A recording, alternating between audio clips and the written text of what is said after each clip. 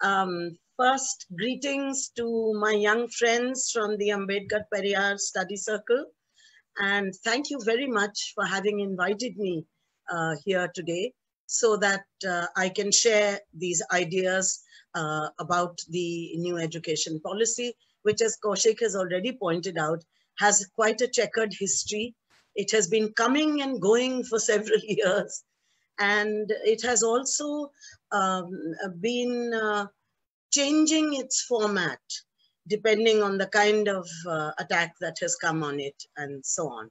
So I'm today, I can't take the whole policy, although what the cabinet pass, has passed, we still do not know if this is the full policy. Because we have got some uh, pages, some 80 pages of the last version of the policy with some changes. But uh, what I think is important for us to look at uh, in this uh, uh, policy is the ideas that they have on higher education. I'm going to focus on that today. And I'm going to focus particularly on two very significant concepts which have been used uh, in this uh, higher edu section on higher education and which emerge from the very first paragraph of the section on higher education. So I'll just read out uh, very briefly the ideas which they have put in, which is also for the first time it has been put in as far as I can recall. I don't think it was in the earlier section of the earlier version of the document.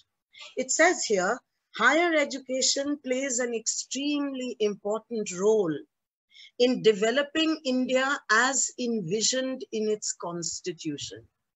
The constitution was almost missing in the earlier uh, version, but this time there is a clear reference. Higher education plays an extremely important role in developing India as envisioned in its constitution, as a democratic, just, socially conscious, cultured and humane nation upholding liberty, equality, fraternity, and justice for all. And it says further down, the purpose then of quality higher education is more than the creation of greater opportunities for individual employment. Now, this is very important because, as I said, this was not present in the earlier versions. What they're saying now is that preparing people for the Constitution and for a society which functions as the Constitution had envisioned is very much a part of the purpose of higher education. So higher education is now a progressive concept and it's a social concept which is geared to creating a society which is capable of carrying forward the ideas of liberty, equality, and fraternity. Now, if this is the case, then this immediately contradicts or comes into problems with uh, the uh, way that this policy itself has been evolved or developed.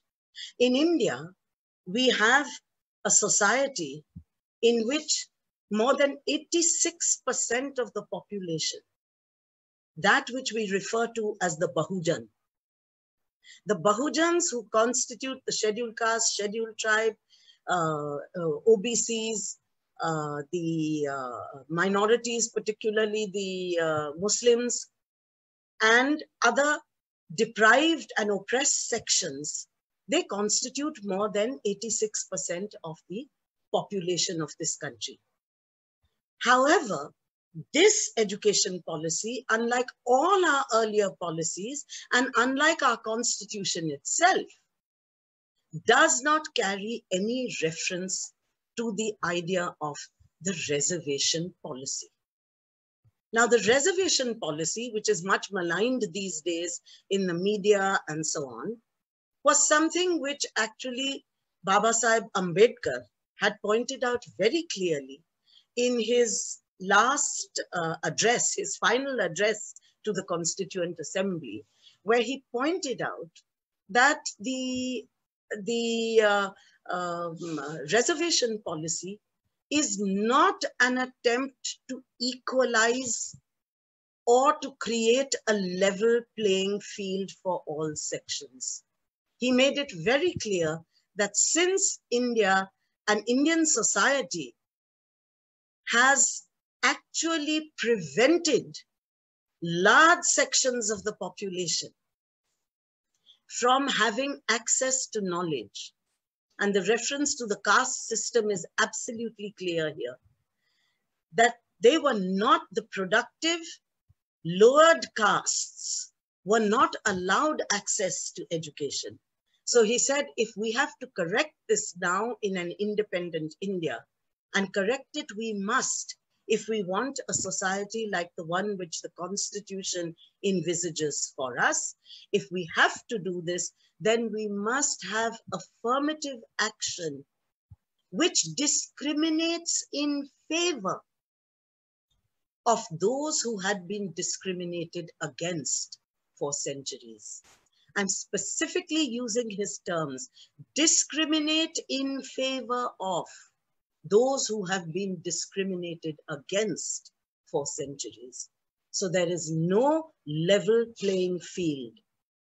You are very clearly discriminating in favor of those who have been discriminated against. And this is very, very important.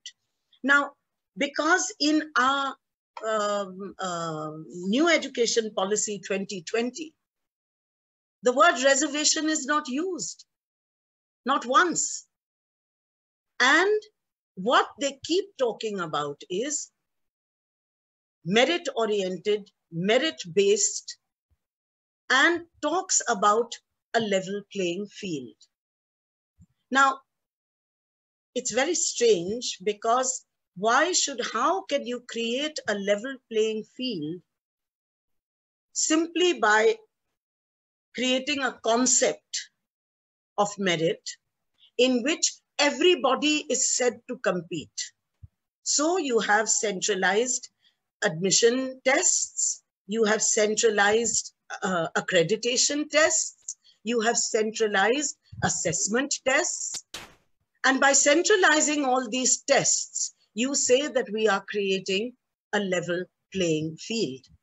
But you cannot have a level playing field in which the oppressed the disadvantaged, those who have been kept out of all benefits of society, and the privileged and the advantaged caste sections, the upper castes, and the privileged, simply by creating these centralized tests, you do not create a level playing field because you cannot have a level playing field between the privileged and the disempowered, between those who have got all the benefits of society for generations and for centuries, and those who have been denied these for centuries.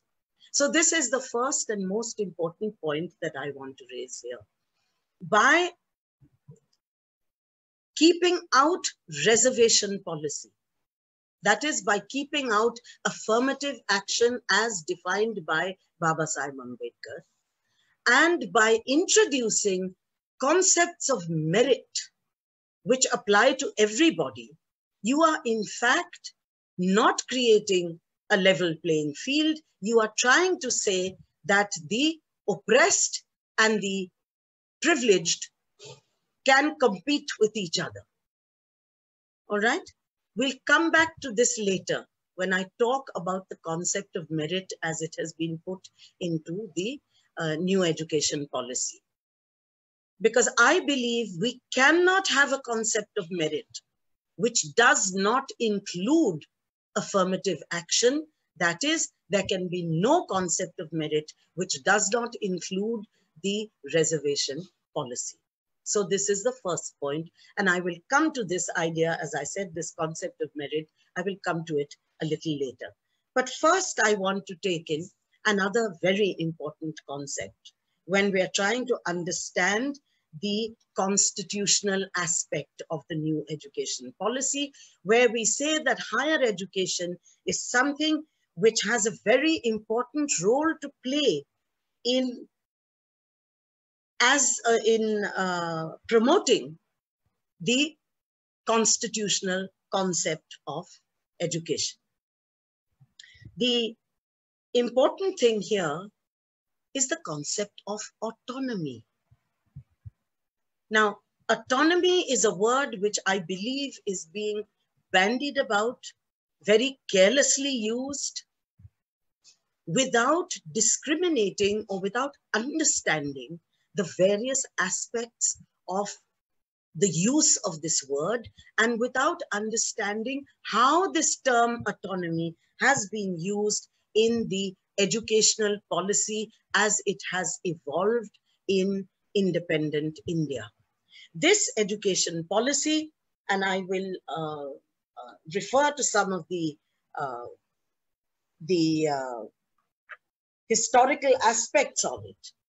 The first reference to autonomy and basing education policy on autonomy, particularly on the idea of quality in education, comes with the Radhakrishnan Commission on Higher Education of 4849, which carefully says that the evils that arise in our education system and remember, he's talking about a period when our education system and higher education was under a colonial rule. He says the evils that arise from our education uh, system is that this education system as it exists in our universities has no real autonomy whatsoever. No real autonomy whatsoever and has proved incapable of resisting pressures from outside that is from outside of the academic sphere. Universities, says uh, uh, Professor uh, Dr. Radhakrishnan, Dr. Radhakrishnan says universities should be sensitive to enlightened public opinion, but they should never allow themselves to be bullied or bribed into actions that they know to be educationally unsound or worse still, motivated by nepotism, faction, and corruption. In other words, the universities must very carefully see that they remain autonomous from outside interests which promote nepotism, faction, and corruption. And uh, it's something where he says uh, the best possible constitution is one that allows the academic community freedom of thought. So academic autonomy is what he's focusing on.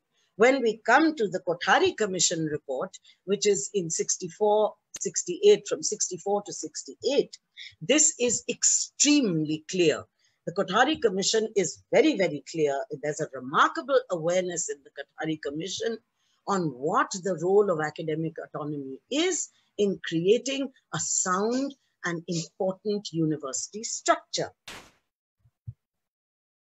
He makes it very clear that uh, the commission says that teachers and students. This is how he defines ac academic autonomy. Teachers and students must have the freedom, and I quote, to hold and express their views. However radical, however radical their views must be, may be, within the classroom and outside the classroom, provided they are careful to present the different aspects of a problem. We would like to see teachers practice more of it, that is autonomy, and vigorously. We would like to see teachers practice more autonomy and vigorously. And teachers and students should receive all facilities. Again, this is a quote. Receive all facilities and encouragement in work, teaching, and research even when their views and their approach is in opposition to those of their seniors and the head of the department or faculty. In other words, autonomy means autonomy not just for an institution, not just for a department, but for an institution, but for, sorry, for every individual working in those departments. Every individual working in the university must have the right to complete autonomy, even if it means that you're disagreeing with your seniors or when you're uh, disagreeing with the uh, people who are running the department. The Kothari Commission identifies three levels of autonomy for the universities. The first is within the university, what I have just talked about. Within the university, there must be the autonomy of departments and colleges and of the teachers and students working in them. Second level of autonomy is of the university within the system of higher education. This means there must be independence from administrative and financial institutions, including the ministry and the University Grants Commission.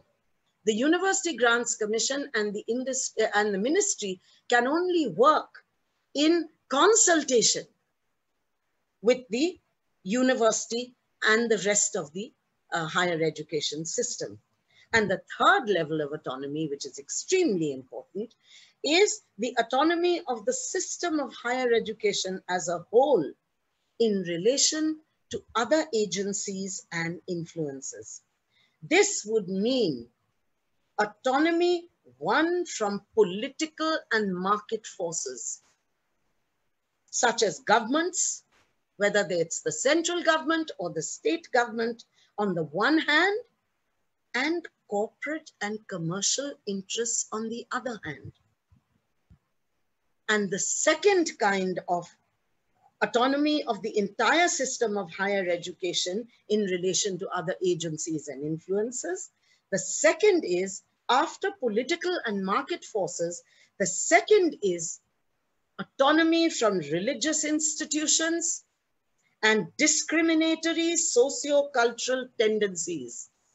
Example, caste, communalism, racism, cultural hegemony, and gender prejudice.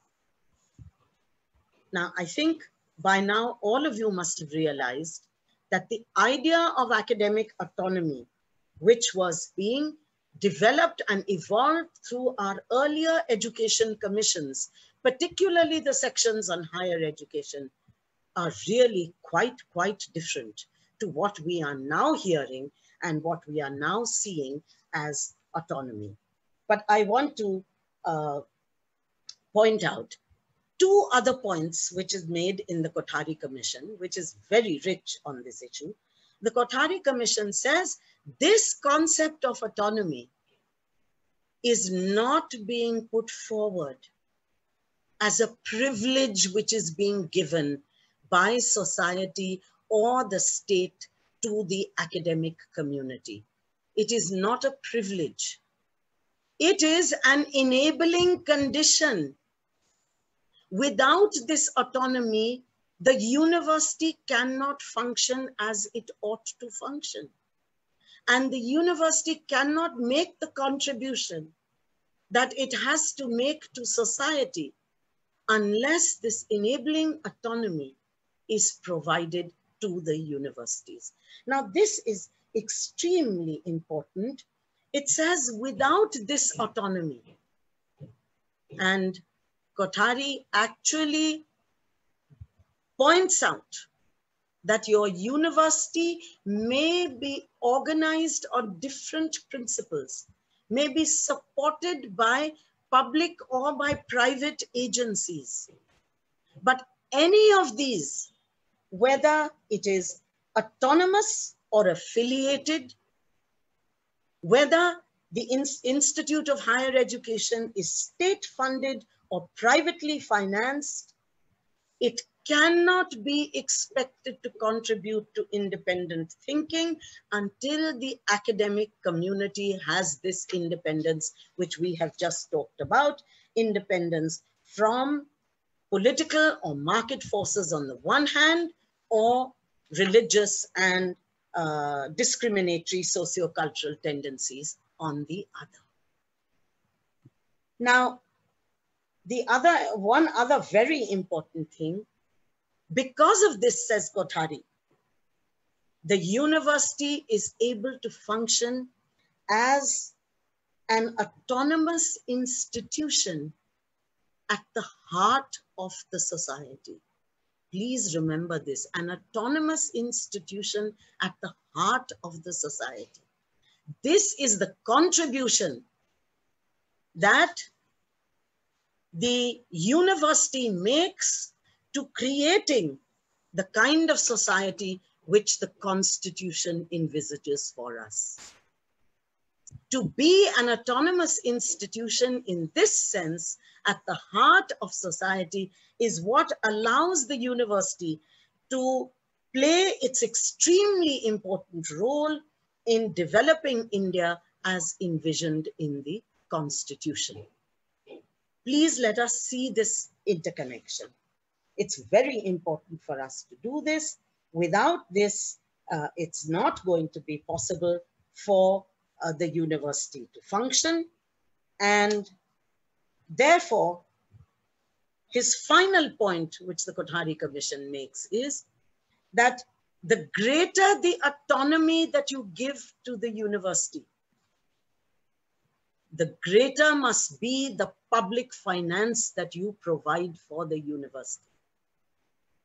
Because it is this public universe, it's public finance, which allows or protects the university from being drawn into or being bribed as uh, Radha, Dr. Radhakrishnan had said, by other competing forces in the society. So it is the state which must give this autonomy. It is the state which must ensure this autonomy. And it is the state through the University Grants Commission, which is an autonomous body.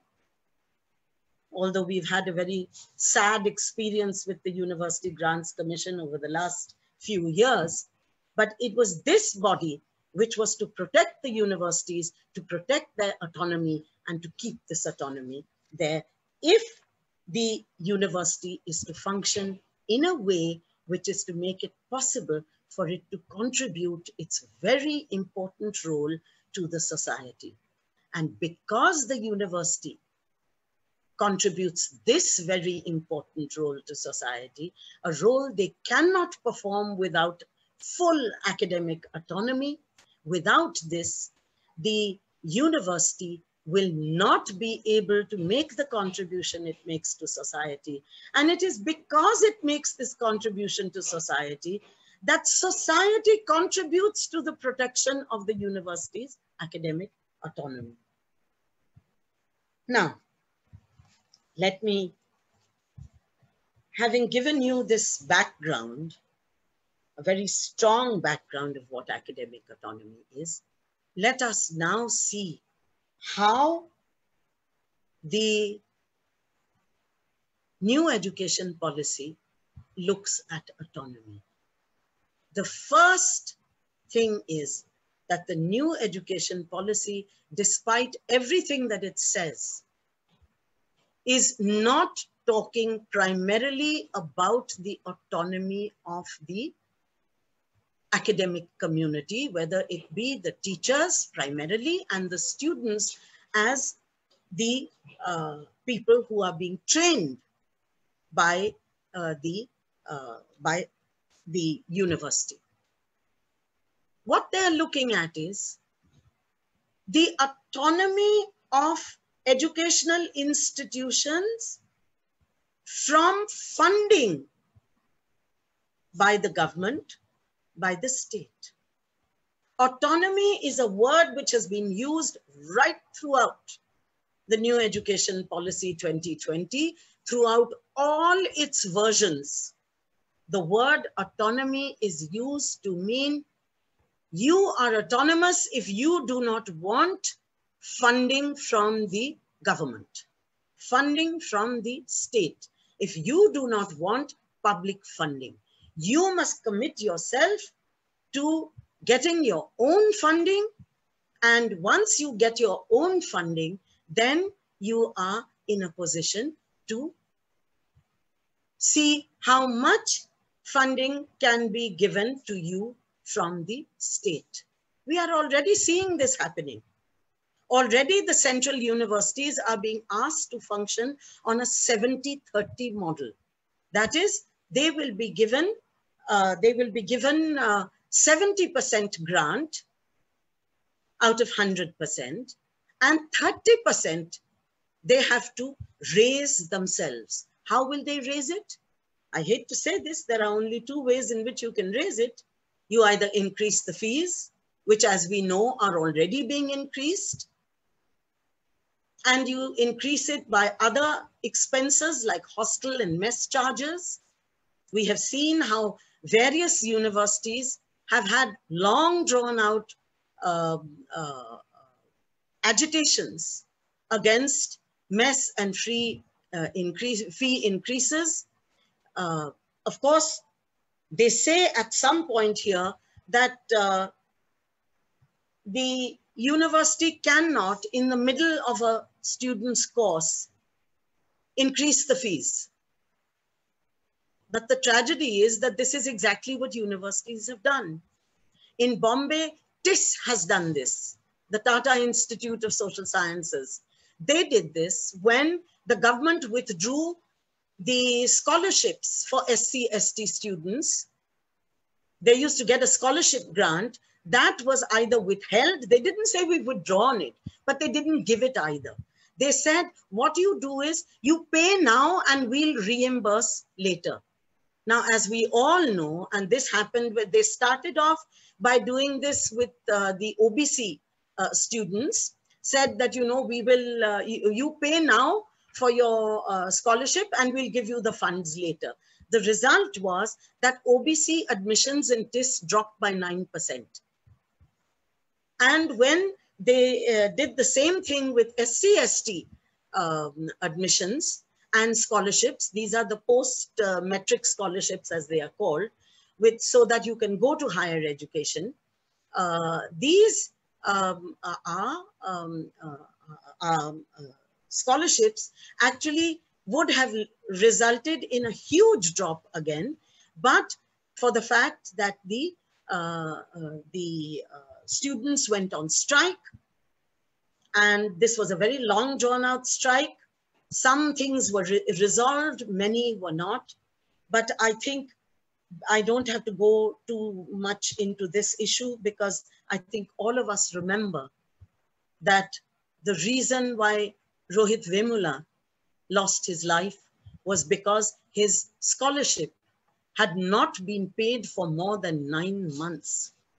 That was one of the factors that was a very important factor for him and other students from the uh, SC community who do not come from privileged sections of society, who do not have the resilience to wait nine months. When we asked their acting vice chancellor at that point what he would have done if he had not received his salary for nine months, he said, really, madam, that's not the point. I said, that is precisely the point. Because when you deprive a student who does not come from an elite background or a privileged background, when you ask that student to pay up for his living expenses and wait till his fellowship is cleared and the fellowship doesn't come for nine months, then you are driving students to disastrous consequences.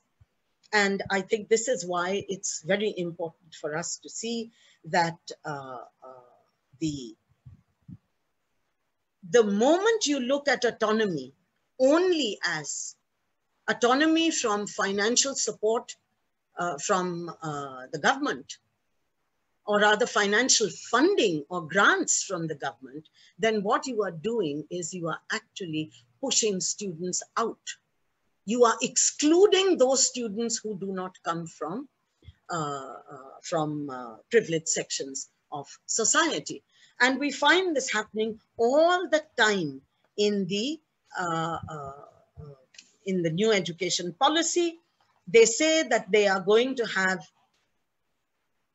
reasonable return on resources invested in uh, uh, in uh, in educational institutions by corporates, and you have reasonable return for uh, investments in uh, uh, in whether it's in colleges and so on. And for these reasonable returns, you are allowed to fix the fees. There is no regulation on the fees. The only thing which the government says is required is that whoever is running the institution will declare at the time of admissions that this is the fee that is going to be charged for tuition, for mess, for uh, uh, hostel, for other facilities like libraries, etc. The, just that the fees will have to be listed at the time of admission. But we all know that it doesn't always work like this. I think you're all familiar with the long agitation of the Jawaharlal Nehru University Students Union against fee hikes, which were done mid-term. And they actually pointed out that 47% of the students who were doing research at uh, uh, JNU at that time would have had to actually cease their research because they would not have been able to pay the new fees, which were more than double of what they had been paying. And this was done mid-term. And this was a central university. This wasn't even a private university. And the cases, we have enough uh, uh, examples. I think you in Chennai know of what happens in many privately funded institutions. I know that in Punjab, where they have a lot of private uh, funding of institutions, I mean, the whole thing is a disaster. They can change the, uh, um, the fees at any point and at any time and the students have no uh, uh, recourse to any uh, set redressal of their grievances. And this is when, I want you to look at this, this is when the government itself is collecting a 3% cess for education. They've been collecting this for years. And now in the last two years or so, it has been increased to 4% by including health in it. So assuming that we are not getting 3% now, maybe 2.5%, the government is taking a cess from every taxpayer for its contribution to higher education and then not letting that contribution go towards the students or go towards those very people who will give us the who will provide for us the kind of constitutional values and the kind of constitutional uh, uh, uh, India envisioned, envisioned by the constitution, if that is not being contributed to because public funding is being withdrawn gradually. I don't have to go into the 6% and all that. You all know what is happening there and public funding is going away, is being withdrawn. And increasingly what we are seeing is that the autonomy of the universities is being of the university academic community is being taken away as more and more the emphasis of the governance of the university now is going on to managerial skills, is going on to people who will determine financial, whose skills are in finances, how to manage the finances of the universities, how to manage the university, how to start introducing, how to start outsourcing various activities of the university, how to start uh, uh, handling the finances of the university by starting uh, self-financing courses, by starting by letting out the land and the physical assets of the universities to industry and to other religious institutions also, to other kinds of institutions. All these things are being done because the universities are being told, you please now start generating your own resources. If you want to generate resources for research, then please go into alliance with industry for uh, uh, research and so on. So that your research is now going to be determined by the person who's funding it, not by the results of your research. We know that the American system, which in fact, this new education policy is based on the American system. And we know that American system has had very, not just two or three independent universities like Yale and Harvard and Princeton and Stanford. Those are thrown at us all the time.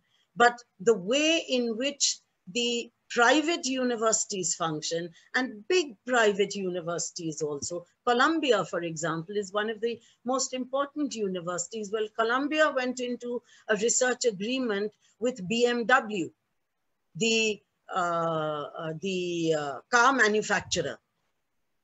And the result was that the car manufacturers' representatives were looking at how research is going to carry on, looking at how research is going to be handled, who is going to get grants, what are the areas of research. Those were all areas which were suitable for BMW's production requirements. So what happened was this kind of PPP between industry and research was being, was being done. The university's physical assets and the university's intellectual assets were being used for developing research for BMW and not for the good of society per se. Now, when you see things like this happening, then we have to realize that you are not going to be able to uh, uh, to develop the kind of uh, education system which your society really needs if you are to have the kind of society envisaged by the constitution. Because here, autonomy is now contained completely within standardization.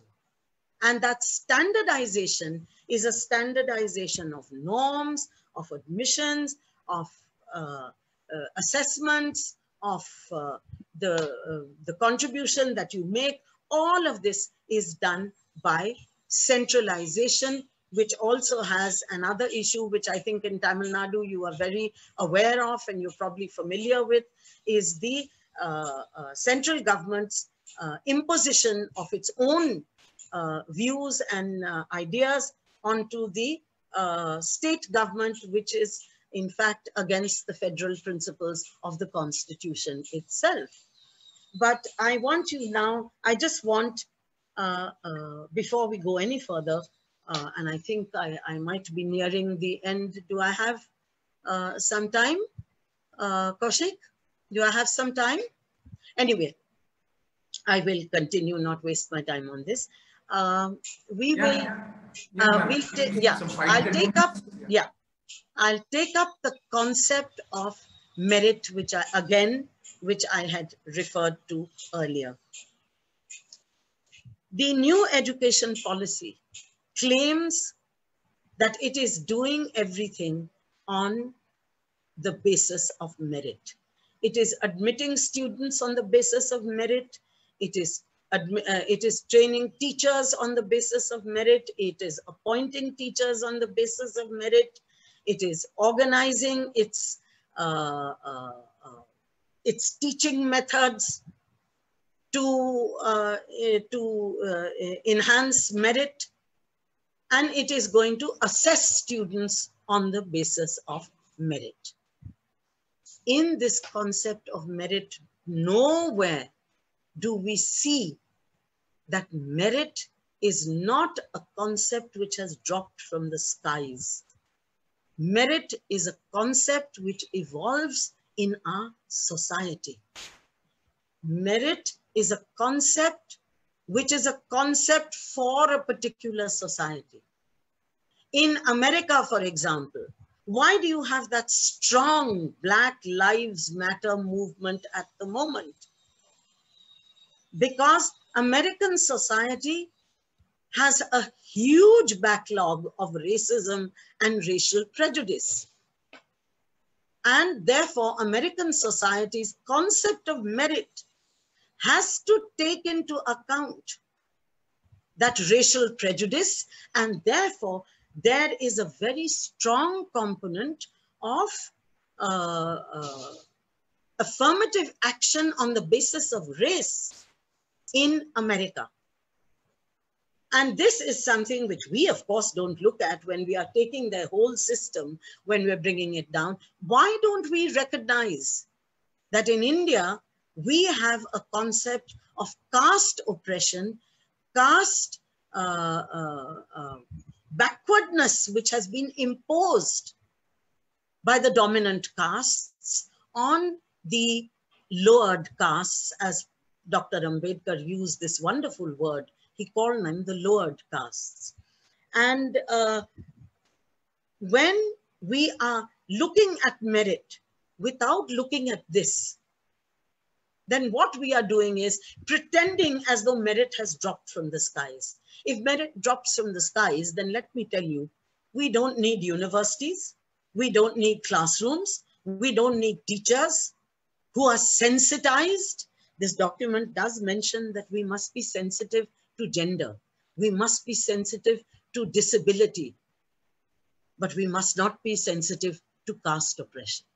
Caste is simply not mentioned. Once or twice, I think the word is mentioned, but in passing.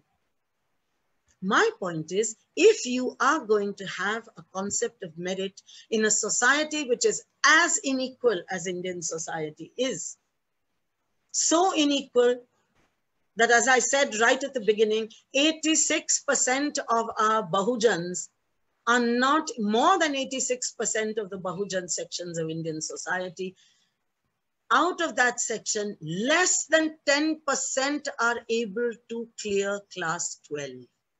Less than 10% of Bahujans even reach the stage of higher education. And you want to deny them affirmative action to try and see that even that less than 10% is not able to attend higher education. There is no concept of merit which ignores caste oppression, which ignores patriarchy, which ignores tribal marginalization, which ignores communalization of Indian society, which ignores linguistic and regional dominance. We cannot have a concept of merit which ignores these things. And I am proud to say that as a member of the Jawaharlal Nehru University Student Union in 1972, we, the Students' Union and the university authorities, thanks to uh, a fairly progressive situation at that time, we evolved the uh, the uh, education policy, the admission policy for JNU, which is responsible for JNU's character. Otherwise, JNU would have been like any other, um, uh, it would have been like any other elite university, catering to a very small section of uh, elite students. But because we insisted that issues of educational discrimination had to be taken into account so that you had to give weightage. A system of weightages was introduced for admission. And along with that, a student faculty committee was set up in every um, department and every center so that admissions would be finalized by the student faculty committee so that you have both affirmative action and democratization of the structure of the university admissions policy. we really implemented the Kothari Commission's report. And I think that is the important thing for us to remember today. We are not to talk of merit, which drops from the skies. Merit is something which shows you how people actually emerge out of the, the obstacles set in their path by society how they overcome these obstacles and then emerge as people who can contribute to the growth and transformation of society according to the constitution. If we are not going to transform society, then we are not going to be able to develop the society which the constitution has placed before, which the vision of the society which the constitution places before us, liberty, equality, fraternity, secularism, socialism, these ideas cannot come if we are not willing through the education system to transform society and to provide agency to those sections of the society who have been denied the right to transform their own condition and by acquiring the right to transform their own conditions, they contribute to the transformation of this inegalitarian society of which we, to which we have been subjected for centuries. They contribute to the transformation of this in a manner which was envisaged by the Constitution. I think, you know, uh, I can stop here for now. A concept of merit which involves affirmative action, a concept of autonomy which is meaningless without complete academic autonomy of the teachers and the students and of the university vis-a-vis -vis other competing interests in society. It is these two concepts which are the most important if we are to try and realize that society which was envisaged by the constitution. And it is in this way alone that an education policy can do what the Radhakrishnan Commission and the Kothari Commission tried to do and which I'm sorry to say the NEP 2020, the path had already been seen a little earlier in the 1986-92 uh, policy, but it was just about showing itself. But in the 2020-20, in the 2020 NEP, we don't see anything of the Radhakrishnan Commission. We don't see anything of the uh, uh, Kothari Commission, we don't see anything of the role that was given to the universities in transforming society. What we have in the NEP 2020 is a university system which has been completely commercialized, marketized, privatized, and therefore put out of the reach of over 86% of our population. This cannot give us the society which the constitution had envisaged for us. I think I'll stop here now and we can take up other issues in the process of question answers. Thank you. So, yeah, uh, th thank you, Professor Madhukar. So uh, we'll go on to the question and answer session now. So I think people who may have questions, uh, you can kindly use the raise hand, raise hand option. So you should be able to see it in the bottom right of your screen. Okay. So there should be a raise hand option at the bottom uh, right of your screen. So if uh, people can use that and use this raise hand, we can I can actually unmute those pe uh, people and then they can raise the, uh, they can raise their respective questions. So yeah. Uh, uh, you can ask even any of the specific issues that you may have wanted to raise. You can ask those also. Mhm. So yeah, yeah. Um, okay, ma'am, I have a question actually. So um, the thing is actually when when when, uh, in 1947 the republic was being set up. So we, we, we had an idea, we had ideas, ideas of actually setting up public uh, sector industries and we, but when when it comes to IIT specifically, we had the idea that, okay, so these are the people who are going to go develop their knowledge and go into the nation building process. But then what happened? What happened around 90s, the late 80s was that the, uh, the, the whole idea of actually uh, industrializing the country through indigenously in a self-dependent way has now been handed over, now been handed over to the uh, global uh, corporate forces.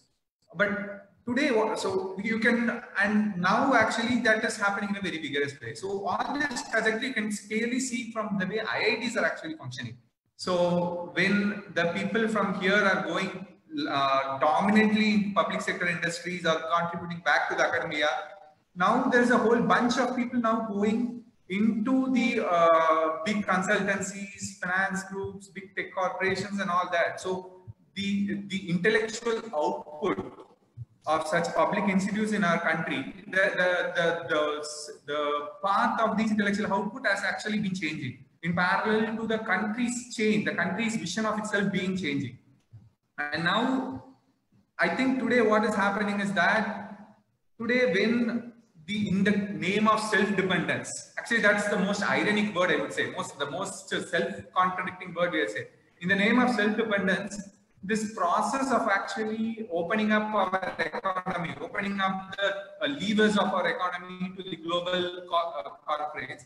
Now this is being kind of taken towards this natural extension.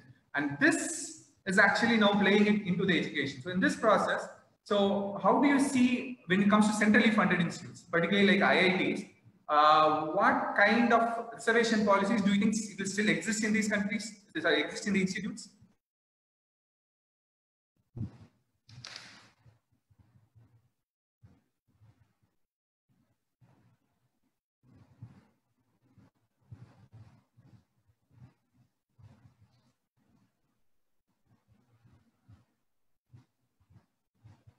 Ma'am, uh, ma'am, you're not audible. Can you? Uh, I think you're not audible.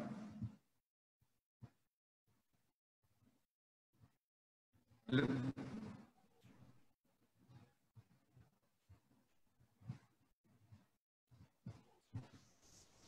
Hello, ma'am. Uh, you're not audible.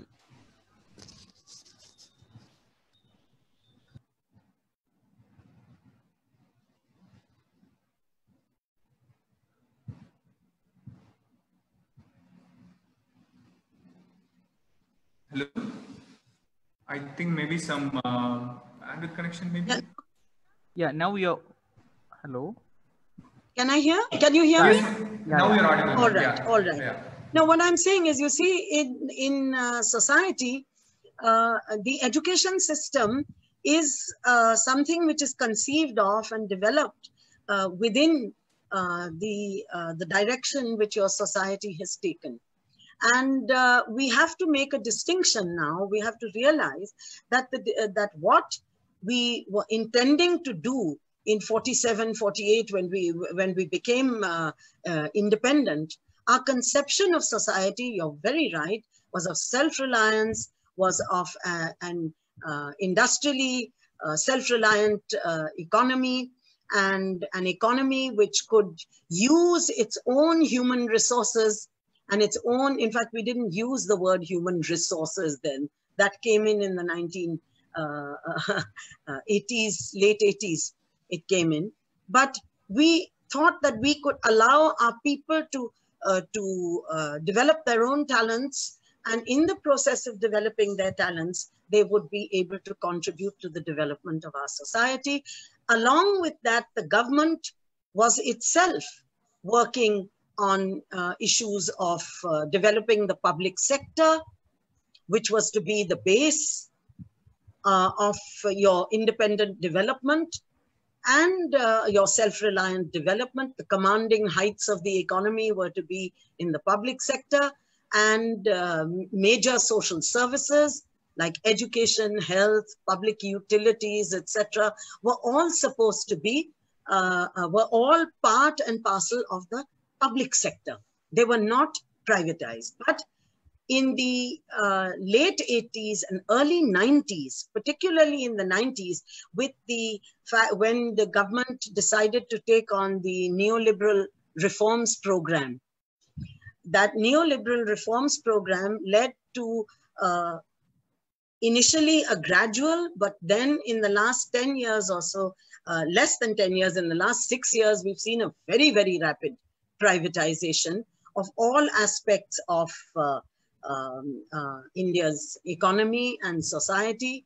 In fact, in just in this period of the lockdown, we are seeing the privatization of electricity, the privatization of uh, um, the railways, the disinvestment in major, uh, in uh, the disinvestment of Air India, in the uh, aviation sector. So a lot of these uh, ideas, uh, and of course, the privatization and commercialization of education and health, which actually health, we have seen what has happened with the COVID crisis. That uh, the very fact that you uh, were, in, uh, in fact, increasingly privatizing health led to a lot of problems where you did not have enough uh, health workers to deal with the even now you don't. I mean we may not hear about it. But anyone who has any contact with people who are working in this sector is very well aware of the problems that are being faced. And these problems are not just being faced in a country like india. Countries like a country like uh, america which has privatized all its uh, which has the private sector operating in all its uh, um, uh, its uh, um, uh, social sectors like health and education, etc. America is facing huge problems. In fact, their death rate is higher than almost anywhere else in the world. And their rate of uh, infection also is very high. So, uh, although this has been seen in, in, in India, we are seeing this, that we are moving very rapidly towards this kind of uh, uh, idea. And we uh, when we begin to privatize what we once called the commanding heights of our economy, then what happens is that the ability to create jobs, the ability to attract the best talent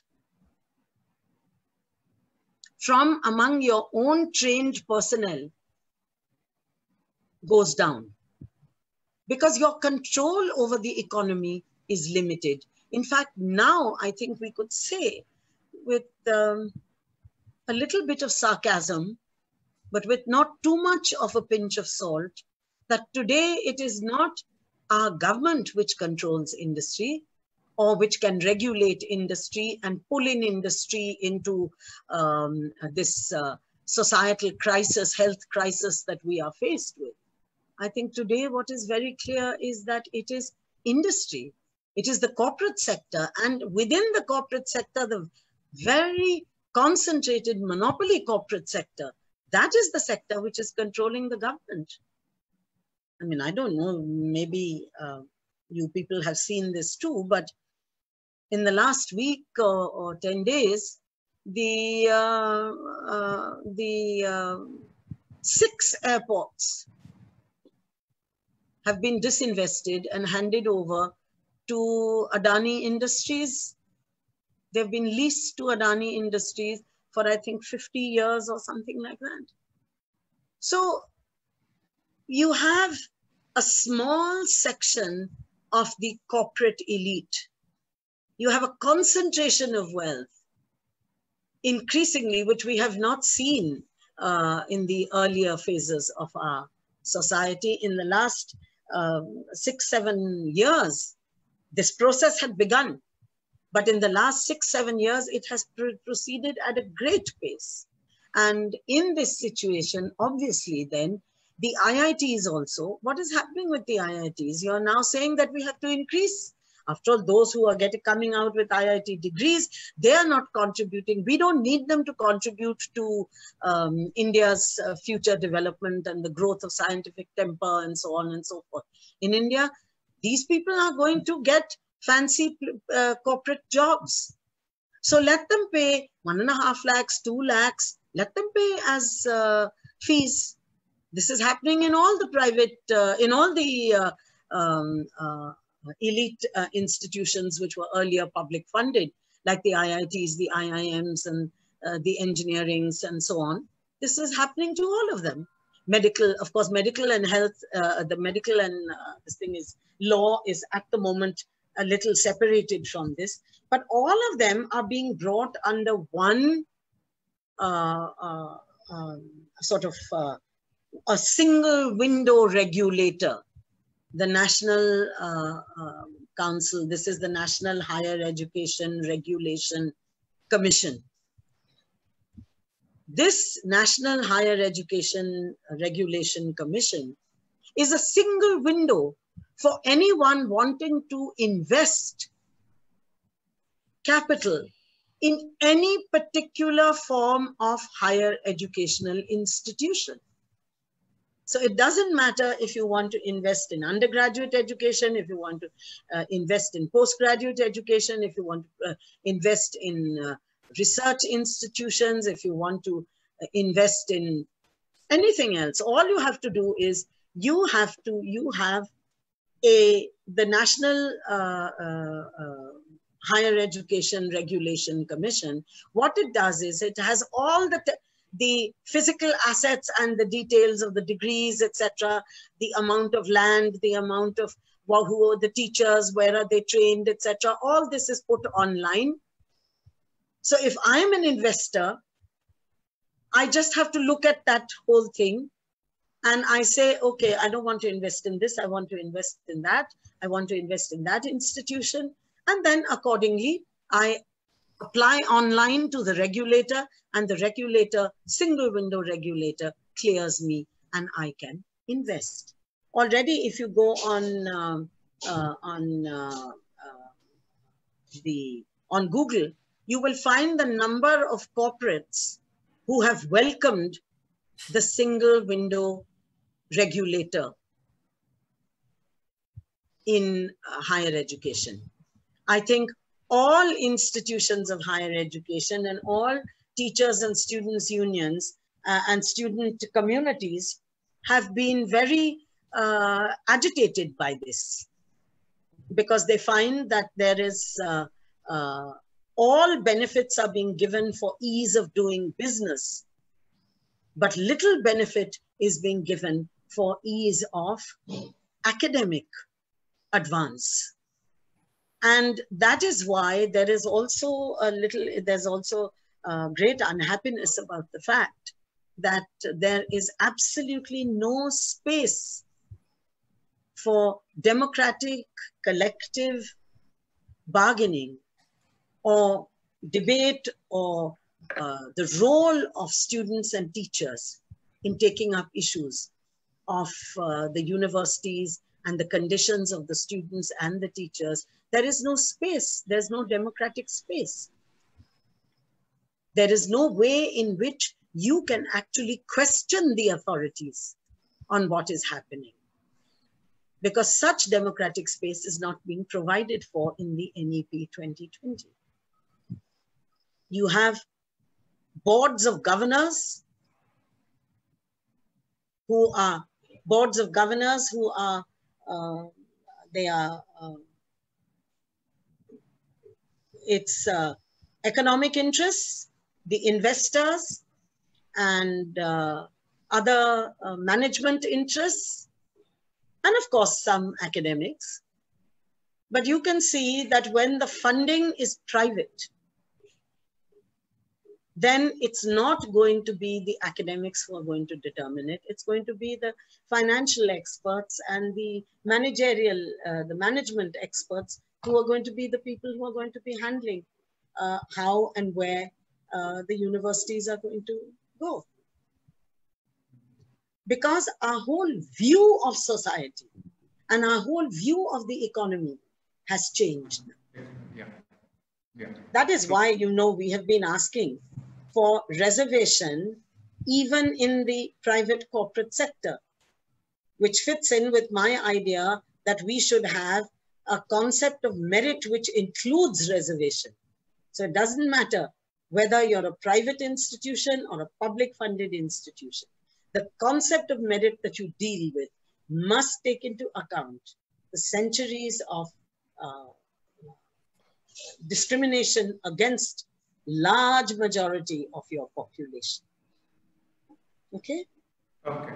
Okay. So there is one more question. So I think Geeta can uh, uh, ask the question. Yeah. Hello, Geeta? Yeah, hi Kaushik, can you hear me? This is Yeah. Milind Kaushik. Sorry? Oh, well, yeah, yeah. Hello, sir. Hello, sir. Yeah, I mean, I, I'm logged in through uh, Geeta's login, but it's uh, it's Milind here. Uh, Professor Prasad, uh, my name is Milind. I'm, I teach at the IIT Madras. And Yeah. uh, uh, thank you very much for a very, very enriching talk. And, and actually, I, I was very glad that you went back to the Radhakrishnan Commission and the Kothari Commission. Um, and uh, the, the entire definition of autonomy as given in the Kothari Commission, I think that was very important to actually have it spelled out because that is one of the, uh, as you read through the new education policy 2020, you realize that it is, as you rightly put, the autonomy is basically being, um, being uh, equalized with a kind of standardization, a kind of Hmm. procedural standardization. And uh, one of the things, I, I mean, you pointed out some of the contradictions uh, in the report. I think one of the contradictions with respect to autonomy is also uh, the setting up of something called the National Research Foundation or something like that, which is going Absolutely. to identify areas of research. I mean, this is research is such a specialized uh, field, and uh, if you talk about autonomy, then research would be the, one of the first. I mean, research and pedagogy, of course, but research would be one of the first things where autonomy is entirely given to uh, to the respective uh, student cohorts and the faculty. Um, Yeah. I think it's also very important the point that you made uh, that uh, this the granting of this autonomy actually is not a granting of the autonomy. It is an obligation that society has towards its education system so that it may actually grow in a in a in a certain vision. So um, I, I just wanted to point out that, or, and wanted to uh, have your views on this National Research Foundation also, which which is um, very um, its its role is not very clearly defined, but it is there in in the mix in the NEP Yeah, yeah. So You if- know, it's, Yeah. it's uh, if I may uh, uh, intervene, it's nothing is very clear in this document because it keeps coming and going, as I said, and sometimes something is there and sometimes it's not there. Now, for example, the National Research uh, Foundation, to my mind, is a very problematic uh, uh, uh, body because it funds individual researchers and uh, it uh, not only funds researchers, it also evaluates the quality of their research and it also promotes the research which it has uh, paid for. So you have a very, uh, it seems to be like a sort of uh, a vicious circle the researcher is unable to get out of the NRF's vicious circle. Once you accept, in order to accept their funding, you have to accept their conception. And it, you have been actually told that when it comes to national interest, it's not just the National Research Foundation, it is the central government which will be the deciding factor. Now, I cannot think of anything. I mean, that's why I gave the example of Columbia University and the BMW. Because if the person who's paying for your bread and butter, and that has been actually the disaster in American uh, uh, research, that is why American research does not have the, uh, the credibility which uh, research, particularly in the UK, had in between, they also tried to privatize. And after seeing the impact, they immediately went, went back to public funding. They said, no, you can't do this. You can't have industry. Industry will never allow you to uh, work against itself. And um, so um, I think the NRF is again part of this uh, anti-democratic, anti-academic, as you very correctly pointed out. If anybody should decide on what is to be researched and how it's to be researched, it's the researcher. The researcher must have the freedom to research the areas which they think are important. There's another problem in this uh, NEP, uh, I, uh, uh, which is that this time in the pages that have come to us, the Rashtriya Shiksha Ayog is not mentioned. But while it is not mentioned, it is also not mentioned that it has been removed.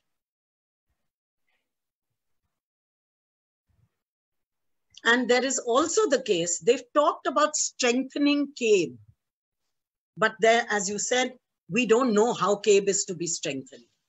I suspect CABE is going to be uh, integrated into the advisory council, which oversees the Higher Education Commission of India. I suspect that is what is going to happen. But then this is my suspicion because the document gives you nothing.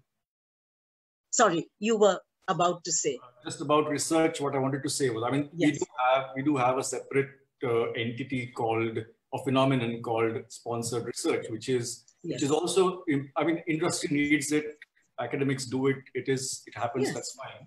But I think uh, primarily the autonomy given to a central university or any academic any university any university is something that is that society owes to that particular institution and to itself. And, and I think that, and to itself, you're quite right. To itself. That, that, conception, I think, uh, seems to have kind of diluted or has been diluted out of uh, a document as important as an education it's been, policy. It's been pushed under the carpet so that we forget yeah, about it. We can use many metaphors, but yeah. I, mean, I would just like to say yeah. it's, it's, getting right. diluted. That's all. You're very right. Thank you. I couldn't agree with you more.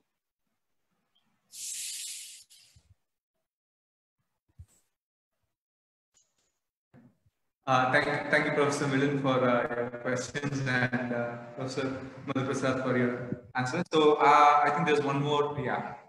So, uh, so I think uh, Priyan wanted to ask a question. Priyan, uh, I think you can unmute yourself. You can go on ask your questions. Priyan, you there? Hello? Uh, okay. Uh, hello. Okay, so I think that let's look at some questions from the Facebook. So we're also streaming the event live on Facebook. Yeah. So then uh, from the Facebook. So yeah, the question is the draft seems to have thrown a lot of light on the so-called choice. Uh, the draft seems to have thrown a lot of light on the so-called choice rather than access find each of the terms multidisciplinary, etc., etc., be a testimony of it. On the other hand, there is no proposal of extending the right to education. So, your thoughts on this? Well, uh, the last point, just to uh, refer to it and then to move on.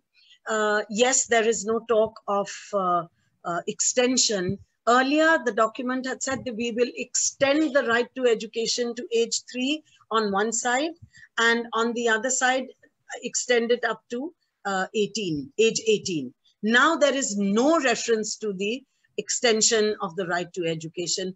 Does that mean, could that mean that education is no longer being looked upon as a right?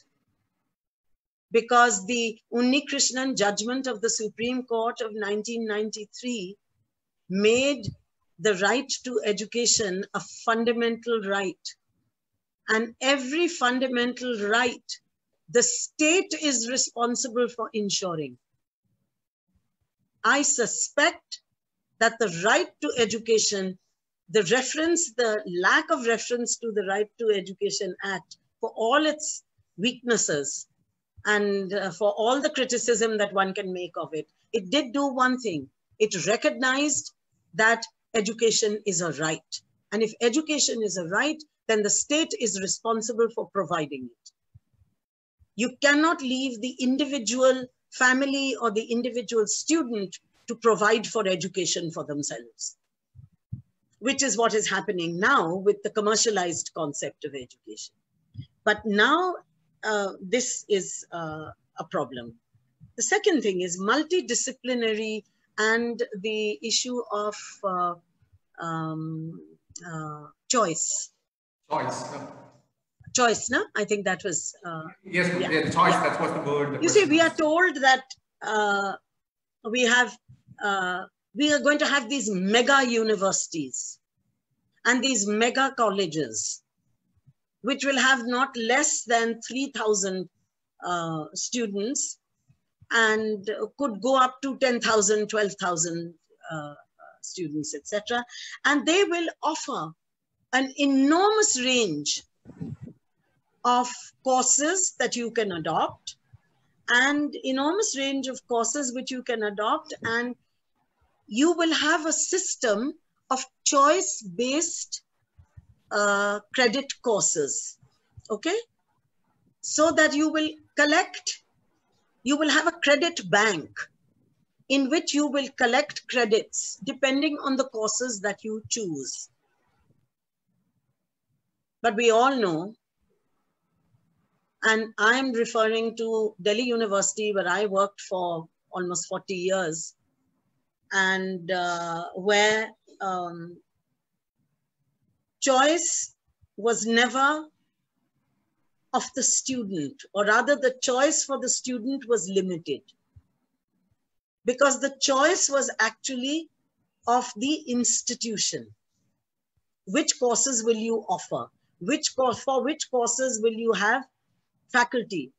And even in the States, this happens. You have courses, but you may not have faculty for that particular semester or there may not be enough students opting for that course for faculty to be provided. So that, let us say, if two students have chosen or opted for a course, but the minimal faculty, uh, the minimal requirement for faculty is, let us say, five, then it means the choice of those two students is no longer a choice. And yet, they have given up their right to a non-commercialized university in the name of choice. See, this multidisciplinary and this choice are very closely linked. Multidisciplinary is not really from what I have gathered and whatever little I could get from this from these documents and reading them to the extent that we can. Also, the kind of uh, um, uh, course options which are offered. You have academic, you have vocational, you have professional, you have uh, arts. Everything is, it's a, it reminds me of a shopping mall. You know, when I go to my local shopkeeper or when I go to my local market, I do have a lot of options, but not as much as when I go to the mall. So in the mall, I have a lot of options.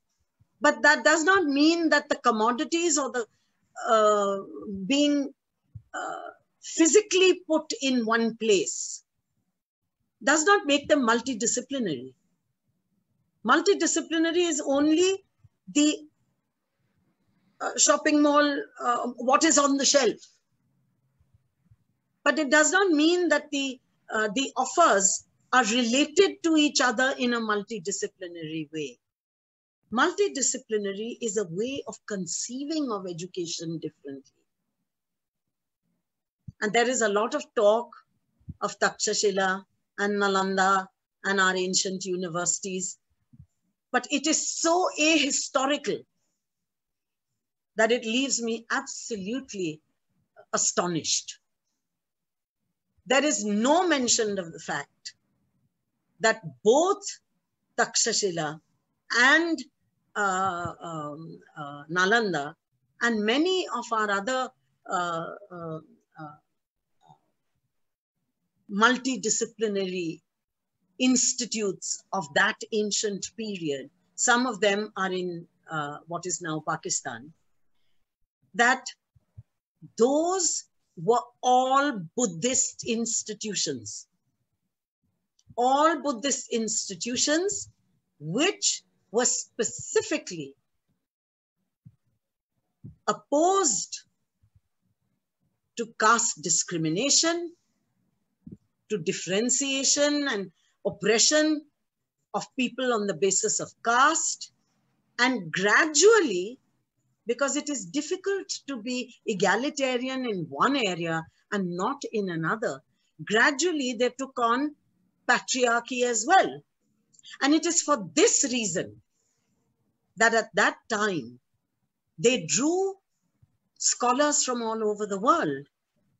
And let us not forget that all over the world that we're talking about, whether it be from uh, Japan, China, and uh, uh, Southeast Asia, and, and Burma, and Malaysia, and right down to here, and then up this way to uh, Central Asia, and right up to what would later be Iran. This was the civilized world at that time. They were not the colonized, ex-colonized third world. So let us be, let us realize that today we are not in the situation in which we were then.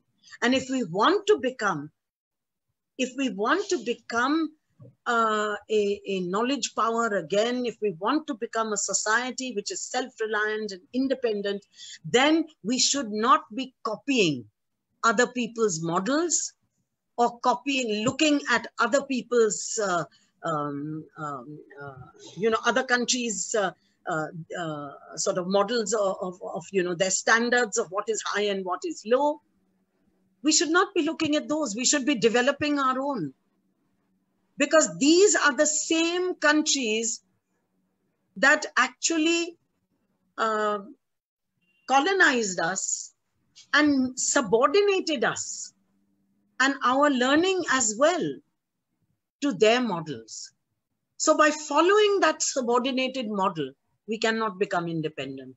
Takshashila and Nalanda require first and foremost, and I think this is something very important, our education systems and our ways of thinking cannot move forward if we do not handle the question of rank inequality in our society if we do not take on this question, which our NEP does not even mention, we are not looking, we are not realizing what it means to be to be subordinated to a jativad, to be subordinated to an idea that you are born high or low. And then we want to have a Nalanda or a Takshashila. I'm sorry, it's not going to happen. No matter how many times they bring out these documents, it's not going to happen. You have to, the constitution talks of liberty, equality, fraternity. Those three concepts means we have to cope with caste, we have to cope with patriarchy, we have to cope with uh, with problems of gender. We have to cope with problems of disability. Because these are all ways which destroy fraternity, which deny us equality and liberty. And therefore, if we want to have liberty, equality, and fraternity, we have to take on these issues. We can't just push them away by talking of SEDGs. What do they call them? SEDGs, socially and economically um, uh, disadvantaged, groups. disadvantaged groups. I mean, that is the most amazing terminology that I have ever heard. For something which we ourselves have been, re, re, uh, uh, you know, referring to as caste oppression, as patriarchal oppression, as gender oppression, as disability oppression. We are already referring to them. Our university has centers dealing with these issues. And now we are saying, now we are saying that we should not talk about these things anymore. And we will somehow create a level playing field by not talking about caste or gender or disability or transgender or any of those issues. Inequality of income, wealth, nothing. Privilege by not by pretending that those things don't exist. And how do we do this pretense? By having a centralized so-called level playing field. I don't buy this level playing field. It is not a level playing field when the players come from advantaged, disadvantaged, privileged, oppressed sections of society. There can be no level playing field between these categories. Yeah. Yes, Suhas, I see you. uh, you can unmute yourself. Yeah. Uh, if all this was not enough, this NEP also talks about gifted children a typical, very erroneous concept. Would you please elaborate on that? Even though you are talking on the higher education, this is yeah, no, what no, I no, thought should be discussed also. No, you see, because the idea goes from gifted children in school right through up to gifted exactly. That's people why... in research. It goes through. The idea is that this is actually, you see, this is actually continuing the process. This is continuing the process of uh, uh, selecting, privileging individuals. You decide at a certain age that children are gifted. Let us say at the age of 11, since they are having, they are introducing uh, their first national level test at the end of class three. At class three, a child is 11 years of age. Eight years of age, ma'am. Yeah. Huh? Eight years. Eight 11 years, years of, age in class three. Because you start with, you start with three years in pre-nursery now, na? With yeah. this, uh, with this foundational course. So in class three, you're about 11 years of age. Ma'am, eight years and, of age. Sorry? Eight years of age, yeah. Eight, is it eight? Yeah. Uh, yes, yes, you're right. You're right. You're Sorry. right. Yeah. You're right. Please go. You're please right. go. No, no, it's it's just yeah. Now you decide first time at end of class three, you do uh, a test, an all India test. Let me tell you, the results of that all India test are going to be put against your name. And that is going to be decide, determine whether you're going to be treated as gifted or as not gifted. Because this test will be repeated again after class five. And then again after class eight. And then again at class nine and 10 and 12. And after all these tests, you will have to sit for a centralized exam in order to get admission to university. A class 12 degree is no longer required or sufficient for you to get admission to university. Please do not forget the case of Anita and the NEET exam. This is going to be repeated across all forms of higher education because it is not going to be enough for you to have sat for six exams before this and done your 12th class exam. What you will be required to do is to sit for an all India exam, which will equip you for going into the university or not. The whole process of privileging, as Suhas has very correctly pointed out, the process of privileging begins when you're eight years old. I'll go even further. If you look at, although we are talking only, we are not, I mean, I was supposed to focus on higher education, but I don't think you can de-link higher education from what is happening earlier. The whole thing begins at age three. Please look at the pre-nursery. You have pre-nursery, which is Anganwadi based. that is for Sarkari government schools. You have pre-nursery, which is for special government schools. That is Kendriya Vidyalayas, Navodaya Vidyalayas, Sainik schools, etc., etc. Those are attached, they are not Anganwadi based. They are attached to the Kendriya Vidyalaya or the Navodaya Vidyalaya or the Sainik school and so on. Then you have standalone pre-nurseries. Standalone pre-nurseries, all of us whose parents have paid for our pre-nursery uh, admissions know what those mean. Those are the private nurseries, pre-nurseries. And then there is the private pre-nurseries of private schools. So the discrimination and the division of students, which you're going to see later when the National Research Foundation decides how its money is going to be given out, that begins at the age of three, continues through the age of eight, through the age of 11, through the age of 14, through the age of 16, 18, and right through your higher education. So you are constantly discriminating and dividing. I, uh, I think uh, Suhas had one more question. I think. Yeah.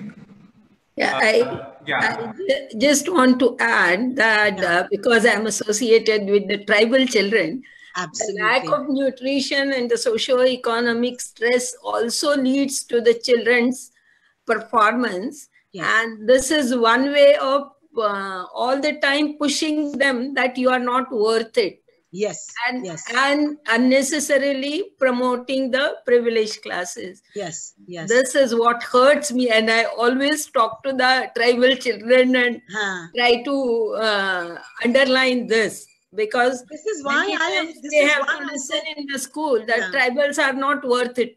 Yeah. That But you see, this is why. This is why I said Suhas. Yeah, I the know. basis of a uh, of uh, an education policy it's which very can really universalize and provide access is to have a concept of merit which includes reservation. It's it's a very uh, very planned discrimination Yes, and yes, yes, lowering the self-image of the Absolutely. disadvantaged children, absolutely, absolutely. I couldn't agree with you more. leading to Dr. Payal's hanging. Yeah, yeah, yeah. Payal Tadvi, yes, yes, I remember. And the kind of thing that happened with with uh, uh, Anita. What happened with um, uh, Rohit? Let's begin from the beginning. I mean, when I read Rohit's uh, that letter, that note, which he, I mean, as a teacher of 40 years standing, it broke my heart. I would have given my right arm for a student like that. But he was told that you're not good enough. And we'll make sure that you're not good enough because we'll deny you the scholarship which is your due. And because we can't take it away from you because of your, your merit, we'll take it away from you by simply not giving it to you on time. You know, this is the way that casteism works, that patriarchy works. This is the way that communalism works. And normal body theory works in the same way too. We have to recognize this. So we have to have a concept of merit which can take into account oppression. Otherwise, we are in serious trouble. Uh, I think Yeah. Professor Milind has a question. Yeah. Professor please go on. Yeah, I'm uh, first of all grateful to Suhas Kollekar for having brought up, uh, having given this discussion this turn, because I think the entire issue of something special for gifted children in the NEP is really disturbing. I mean, Disturbing. I already have scholarships and all that that so-called gifted Yeah. children can get, and they're gifted on one particular parameter of so-called merit. And, Merit. but it's okay. I mean, that that exists. Can now again you want to add to it and make something more uh, for so-called gifted children is is again it, it's a, it's contradictory to the policy's own uh, or this thing uh, of being something to promote fraternity, something to promote, you know, constitutional Exactly. etc. So that is on, on one thing. The other, the other problem also is this entire regimentation of the child's uh, development from Yes. age three Yes. it also means, and this has been one of the things that I've been uh, saying very often, even in the context of higher education institutions like the IITs, for example, that it's very important for students to have unstructured time. Yes. And what we see now is right from age three. I mean, this is really, I think Krishna Kumar said it very well that, I mean, it, it is the most distressing thing for him that now children will be under tension from age three.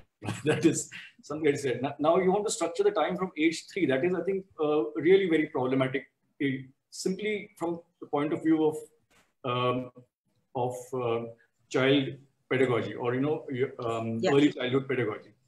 Um, so I, I I feel I just want to say that there are these very uh, very obvious contradictions within the formulations of the education policy as such that and the last point I want to make is since we have uh, we have talked a lot about the idea of merit being of course an idea of merit which which uh, which includes uh, the dimension of caste oppression of gender oppression etc i also feel that um, when, when we look at for example the affirmative action uh, situation in the us and uh, the incorporation of race into into that it it should not basically mean a co-opting of of, of members of marginalized communities, if for want of a better word, into the existing idea of merit. I, I don't think that. I think it is it is also very important to democratize the idea of merit itself. Merit What itself. Since uh, you know what knowledge means. So uh, That is tribal precisely my For example, there are so many knowledge systems that that we need to also be aware of and things. Like, so I I feel that not only should we definitely, of course, we have to incorporate or be sensitive and etc. etc. about the various uh, various kinds of oppression that have been perpetuated in in this world. Uh, but we also have to be uh, a little more open about what merit is in its in Yes. itself per se. As such. You know, so that's what I want to just note. And Yeah. uh, yeah, thank you for giving the discussion this direction, Suhas Kollikar. Thank you. I've, your, your interventions have been, have, has been very, very uh, uh, enlightening. And uh, you're right that it is, we have to, we have to actually create a concept of merit, which does not equate merit with privilege. That is what we have at the moment. So if you're male, English speaking, well to do, you're meritorious. I mean, that, we have to uh, blow this idea. And that is where we really look at, at learning. Because this whole strategy, which is now being promoted as learning pedagogy, which I, I, I really have serious problems with this, and that requires a whole debate on its own, is this concept of learning outcomes. What is a learning outcome? How can you decide before the learning process has begun, where the learning process must end. So you have predetermined what is merit, what is achievement, what is learning. And the actual process of learning has been thrown out of the window.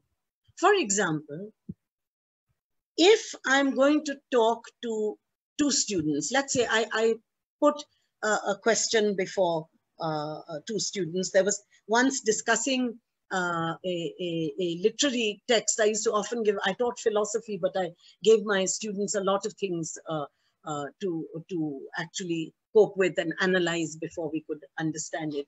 When you look at the whole thing of how do people respond to certain situations? What does somebody, what I do not require, uh, uh, regard as inequality. Somebody else will regard as inequality. What my, even my husband does not understand or accept as being uh, discriminatory, I, as a woman, as part of this whole structure of uh, um, the man woman, the gender relationships within um, predominantly Hindu or predominantly religious communities uh, in India, I know how uh, uh, uh, how gender oppression works. In fact, I think my greatest achievement as a teacher was the day when my I heard my husband telling somebody else that look, you know, let's not talk about gender oppression because you can't understand what gender oppression is. You've never been through it. So this is what I say when my in my class, when I have in, in the physical classroom, and this is why I'm opposed to this idea of online education replacing physical classroom education also. There are all these other factors that come in. In my class, if I have a student, if I have students who have experienced oppression, and this eh, oppression comes through generations, whether it is gender, whether it is uh, uh, caste, whether it is uh, um, wealth, whether it is uh, uh, disability. This oppression comes through generations. I remember, you know, how, how upset um, disabled students get when you say, what, are you blind? By, by which you mean you haven't seen what there is to see. So similarly, you, you uh, when uh, um, uh, girls don't speak up in class because they think that uh, the boys should speak first. You know, there are, we keep seeing these things operating. Now, if a system, an education system cannot take this into account, then that is very stupid. I remember taking this exercise with my students I used to ask my students every year if in school they had any scheduled caste or scheduled tribe friends. Because most of the people who come to university, since less than 10% of the Bahujans make it to the university, most of the people who came to the university came from schools which were private normally or good schools or Kendriya Vidyalayas or something. And I found that um, they would invariably think, think, think, and then they say no.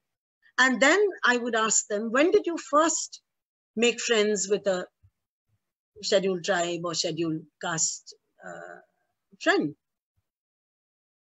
And their immediate response would be with their eyes opening wide, they would say, ma'am, in college. And why in college? Because of reservation because they were there. That's why you could be friends with them. And this whole, you know, we don't understand how pervasive these uh, oppressions are and these discriminations are. They are so pervasive that if we do not bring one, a heterogeneous group into the classroom, that's why I, am also opposed to the kind of uh, admissions, this centralized admission. I think the most horrific thing will be the centralized uh, admission test.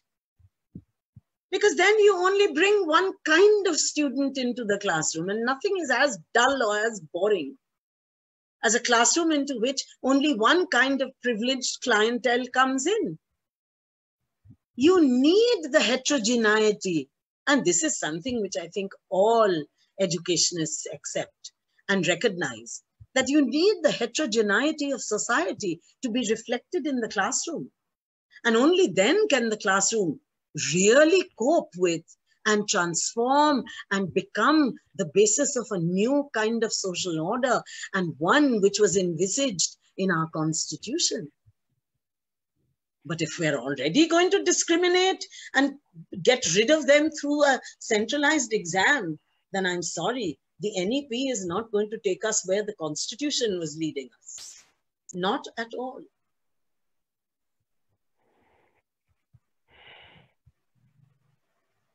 I think we've been through quite a lot. yeah. Yeah, uh, thank you, ma'am. So I, I, uh, I, think there's no more questions. So uh, yeah, we'll, we'll wind up the session today. So I, I really thank all the audience who have uh, wonderful questions, Suhas, Professor Milind, Geeta, and uh, other audience members. And I thank Professor Madhukar here for uh, coming here and giving her uh, understanding views and critiques on the new education policy, her wide world views on the current reality of the country, current reality of the people, realities of the people, yeah, realities of the people. So, so yeah, thank you. Thank, thank you. you. Thank you so much for having me. I've really enjoyed this. Thank you. And thank you uh, to uh, Professor uh, uh, Milind and uh, Suhas and the other uh, students who, the other people who were listening. Thank you so much. It's been really, you've given me a very, very fair hearing and helped me also organize my own ideas. Thank you. Thank you, Kaushik. Thank you, ma'am. We'll, we'll wind up the event here. Thank you. Yeah. Thank you.